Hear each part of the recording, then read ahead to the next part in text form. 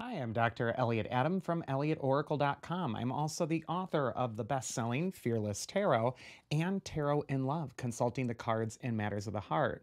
And if you appreciate my empowering approach to tarot, you're going to get a lot out of those books. So check them out online. And they're also available on my website, ElliotOracle.com. I have signed copies available there. And it is time for this week's Oracle reveal. So, yesterday on Instagram, I placed up a photo of three different animals, and I asked you to use your intuition and ask yourself which, which animal's calling to you because that animal has your message. And the three animals were the gorilla, the snow leopard, and the mountain goat. So if you're just joining me now, ask yourself which animal's getting caught in your head. It doesn't have to be your favorite animal, it just has to be the one that kind of uh, gets stuck in your mind because that animal has your message. For those of you who picked the gorilla, this card says take time to listen compassionately to those you love, especially your family members. And gorillas are known for their really strong family ties, their strong community groups. And what gorilla could be telling you this next week is that sometimes listening is more important than telling or saying. A lot of times when we're told to communicate with people, we forget about the listening part. We have something important to say, and we might be bulldozing over those that are around us that might need to be heard. So, Gorilla tells you not to underestimate the power of sometimes really tuning into what a person is saying and also smiling at them, also inviting them to open up, not half listening, not being on your phone while they're trying to tell you something, but really being present. This can really have a profound impact on people. And it may not be that you're going to solve their problems for them, but they at least will feel heard. So, first card for Gorilla is where it's best for you to place your focus this next week. And we get the Two of Cups reversed, which is very interesting because for me, this is a card of communication. And when it comes up reversed, it can indicate that there might be some confusion in communication or miscommunication. We got that Wand of Mercury, the messenger god, in between the two figures on the card. And the lion that was once at the top of the card is now at the base of the card. And what this says is that there's going to be some sensitive individuals around you this next week, and they may be really quick to roar or to feel angry or even to defend their pride. And I think with that gorilla message, Two of Cups reverse could say the component that you're really needing in your communication this next week is listening. It is really just kind of uh, bypassing the other person's touchiness or anger or whatever they might be upset about in order to really tune into what's beneath it. And I just think with Two of Cups reversed, it's important to go deeper in your communication this next week. So, really be present, really tune in.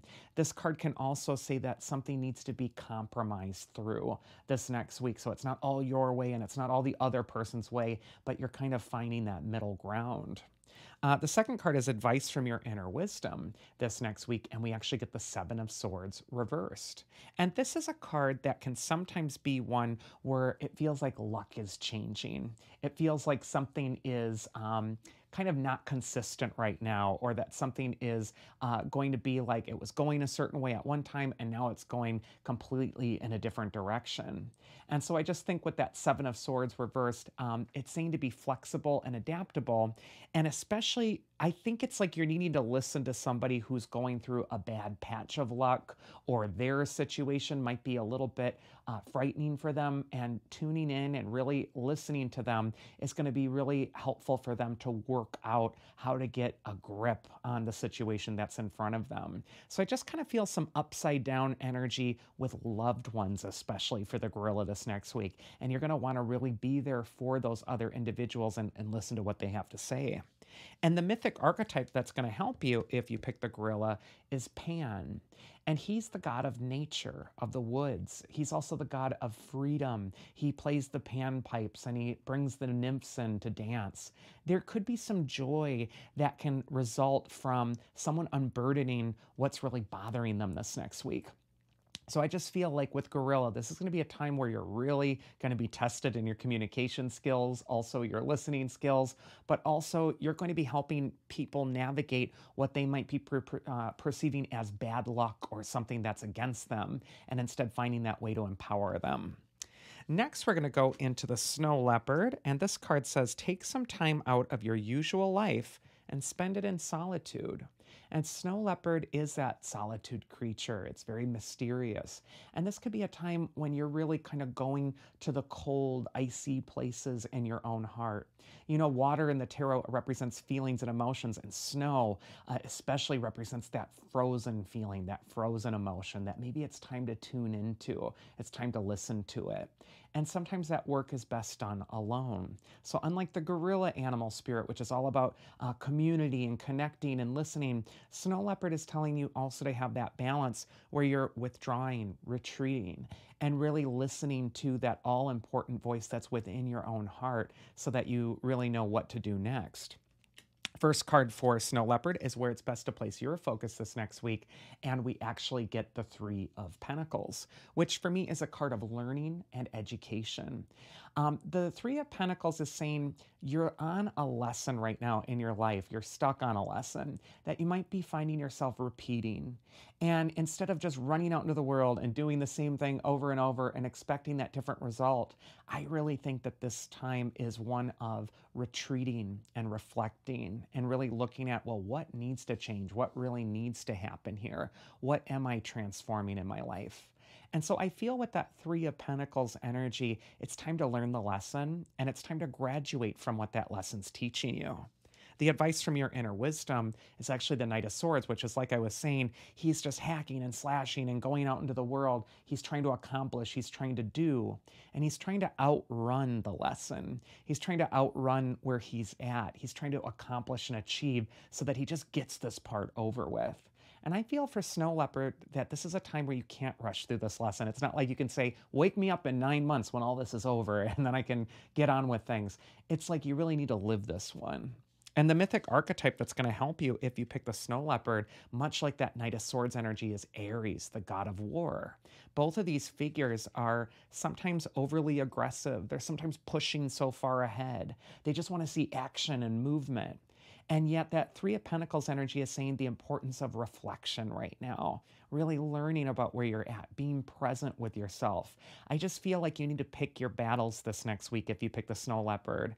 And also with these aggressive cards, I almost feel like don't engage. Don't engage with people that are aggressive or belligerent or they're not listening. And you know what? Just take a step back.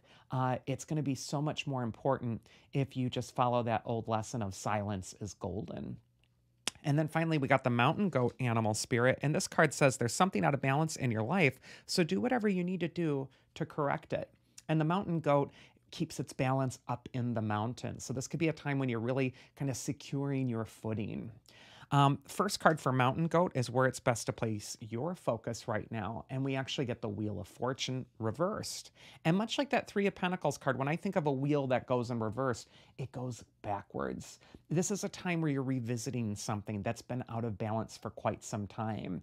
And you might be correcting, course correcting. You might be going back to that part of your life that felt out of balance before and attending to it, fixing it, and really getting your footing more sure also, this is just kind of a crazy week, I think, for all three animals where there's just this unexpected energy. It's just like, whoa, where did that come from? And you're needing to adapt and adjust to it instead of getting bent out of shape. So tune inward, check within, try to get your own bearings before you just go out into the world and try to fix it. Uh, the next card is going to be advice from your inner wisdom. And there she is again, uh, a frequent visitor on our Oracle Reveal with the High Priestess. And the high priestess is telling you to find your center. A lot of times we're on the outside of the wheel, we're going up and down with these external things we don't have control over, we're getting triggered. And the high priestess is inviting you to the hub of the wheel, the center of the wheel, which is a symbol for your center. And from that wise place, you're in that eye of the storm, and all this crazy can go on around you, and you're not going to be swept up into it. And finally, the mythic archetype that's going to help you this next week is Atropos, who we also see. She's the fate who cuts the thread of life. She's saying that a chapter is ending. It's time to stop repeating something. It's time to stop revisiting this thing. It's coming to a head. This might also be a time when you're dealing with endings that are challenging or difficult. However, if you approach them from that inner transcendent wisdom, you're going to know exactly how to handle it and you'll respond beautifully. And that is this week's Oracle. I do hope you enjoyed it. If you want to schedule a reading with me, go to elliotoracle.com. Otherwise, I will see you here every week. So do take care and have a great day.